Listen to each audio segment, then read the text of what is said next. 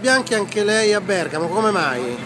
Per eh, rivendicare l'orgoglio di essere una Lega per mm. bene che da tanti anni, da decenni, lotta per la propria gente e perché vogliamo che se qualcuno ha sbagliato paghi e perché vogliamo andare nelle nostre città a testa alta come abbiamo sempre fatto.